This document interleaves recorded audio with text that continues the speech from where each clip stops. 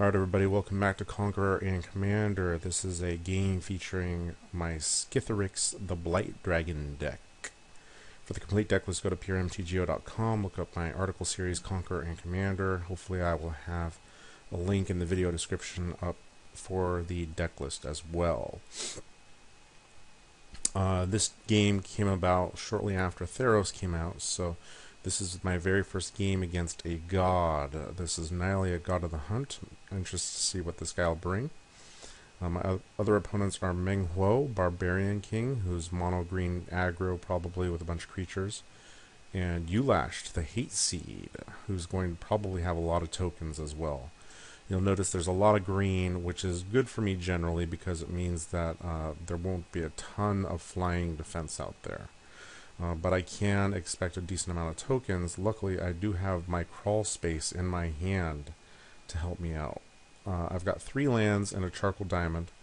Um, one of the lands is a coffers, however, so I'm hoping to draw a few more swamps.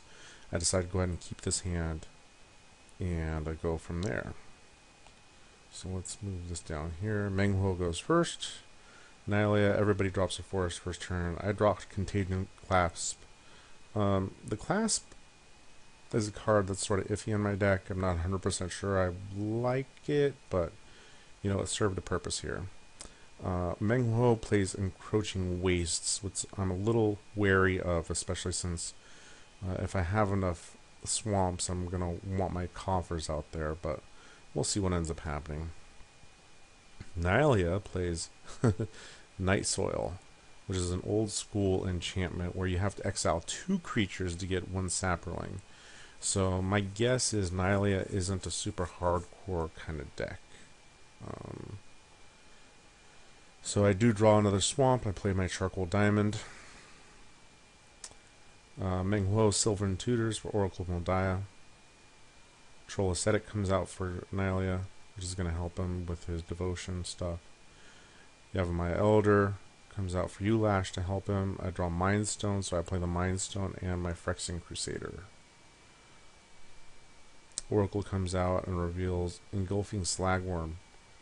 Uh, Slagworm's one of those cards that, like, seems cool just because, you know, it destroys anything it blocks or blocks it. So you don't have to worry about death touch creatures or anything like that. And you also gain life with him he's just you know he's just seven seven for seven mana, and he the problem is there's so many good green creatures out there that it's hard to fit him into decks, especially at the seven mana range. Uh, Nylea plays Dosan. I'm, I'm not too worried about Dosan. Awakening Zone from Ulasht. I draw Damnation, which could be good against all these green um, decks and their creatures as well. One of the things you have to remember about Skithiryx is that he doesn't naturally have haste. You have to pay to give him haste. And I had plenty of time where I like had six mana and I cast him and I went into my attack step and I forgot that I didn't give him haste. Luckily I remembered this time and I decided to go after Nylea specifically because it's God, number one, and number two, I'm, I'm not really sure what kind of shenanigans she could have in her deck. Uh, so I hit Nylea and give her four counters. One of the things I thought about doing, but I didn't. And uh, Meng Huo cycles Krosan Tusker. Oh yeah, by the way, I'm over here. There's a bug. Whatever. I should have attacked or um, Meng Huo with my Crusader, just uh, because if he threw Oracle in front of it, that'd be nice to get rid of that. Um, and it's nice to get the extra counters out there as well uh, especially with proliferation available. But I didn't, and that's kind of a mistake on my part. Harmonize for Nylea, and nothing. So Nylea's got a little bit of a land problem. Ulasht has nothing going on either. So I decided to go ahead and throw crawl space out there before there's a whole mess of tokens that end up coming out. And now I finally spread it out. And I send my Crusader after Meng Huo and Skithiryx after Nylea. One of the things, if you're playing this deck, you need to be cutthroat. You can't try to be the nice guy. You can't try and spread the damage around. It's much better just to like send Skithiryx after the same guy as much as possible. So Nylea's got eight poison counters, and Meng Huo has two. Meng Huo Kodama's reaches, and plays two lands and does nothing. Nylea get, drops a forest, plays Bow of Nylea. First time I've seen that in play as well. Um, and then attacks me with uh, Dosan and Troll Ascetic. I take the damage. He pumps Troll Ascetic. So I take uh, 6 damage here with his Death Touch creatures. Dropping to 34. Yavimaya Elder gets sacrificed by Ulasht for a couple forests. And Nylea obviously doesn't have anything else to do. Rapacious one comes out for Ulasht. So I decide to go ahead and uh, kill off Nylea with my Phyrexian Crusader, and I hit Ulasht once with Skithiryx. Um, specifically, I'm worried about the mana that Rapacious one can give him, and see if he can go nuts with it. I do have Sudden Spoiling and Damnation in hand. Uh, I'm still worried about my coffers getting blown up. But, uh, so Nylea is gone. Bye, Nylea. You never even came out. Meng still here. Ulasht is still here. And Skithiryx is in play. So I'm holding back just in case somebody wants to try and destroy. Oh, there's Summoning Trap. Okay, wait, wait, wait. Summoning Trap is one of those cards where, like, every once in a while, like, it just drops fat stuff. I'm always worried when this happens, but this time it's just Reverent Hunter, and he comes out as a 3 3. Um, so, yeah, that's not horrible for me. But Woodfall Primus is on the top of his yard. However, he Farhaven Elves, and Woodfall Primus goes away for Burnished Heart. I get attacked by the Oracle. I'm down to 32. Ulasht plays Acidic Slime and blows up my coffers. You know what? That I mean, coffers was only netting me one extra mana, so I'm not too wasn't too upset about that. Rapacious one comes after me though, and I was considering Sudden Spoiling, but I decided just to wait to see what would happen. Um, not sure that was the best idea, but he gets a bunch of Eldrazi spawn, and that's it. So I attack Ulasht with Skithiryx and hit him one more time. And I play uh, Vampire Nighthawk.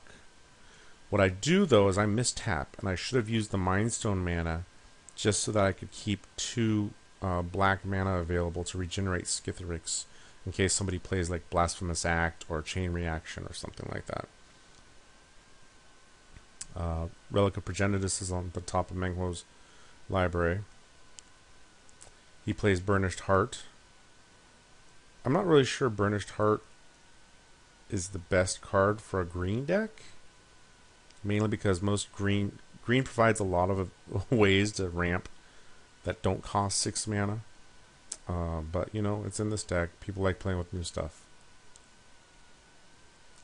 And then he Brutalizer Exarchs.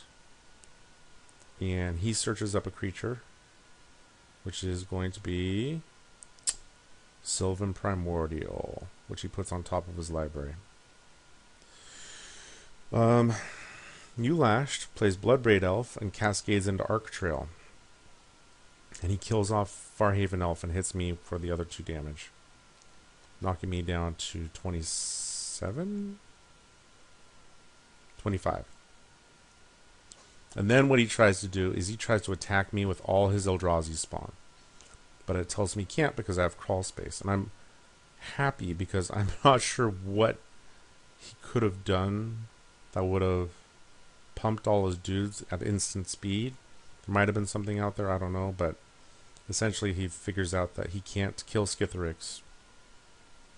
Can't attack me with everything, so he ends up conceding uh, due to crawl space. So I go ahead and attack, and I hit uh, Meng Huo you know, and that happens some that happened a bunch with this deck is like people um people realized they had no out to Skittles, so they just concede instead of sitting around waiting. uh, and that that's good for you when you're playing this deck because it it cuts an extra attack step out. Because um, now I I can attack uh, the Meng Huo player directly. So I attack with Skittles and Vampire Nighthawk, and he's got six um, poison counters now. And I decide to play Contagion Clasp because honestly, what I don't want Sylvan Primordial to do is come out and blow up one of my mana sources. I'd much rather have him blow up either Crawl Space, not so much Crawl Space, but Contagion Clasp. Uh, and even if he puts the Primordial out there, I've got both Sudden Spoiling and Profane Command to give my creature fear. Um, and Sudden Spoiling would remove the reach from the Primordial as well. So, uh, I'm in pretty good shape right now. He's going to play Primordial and blow up my Contagion Clasp. Since he only blows up one permanent, he only gets one forest. He plays Meng Huo to pump all his dudes, and he attacks me with a bunch. I'm fine. I take the 7 damage, and I drop to 20. I draw the Warhammer, but I'm not worried about it right now. I use the Profane Command to hit him for 3 damage and give all my dudes fear, and that's enough for game. He also had... What did he have? Crap. He had another, like, monstrosity dude. Anyways, uh, you know, a lot of green players mean not a lot of defense, uh, flying defense. I mean, there is the possibility, but a lot of people kind of forsake it and just go with more offensive stuff. But uh, that's a game where I basically was able to poison everybody out. All right. Hope you enjoyed it. Thank you.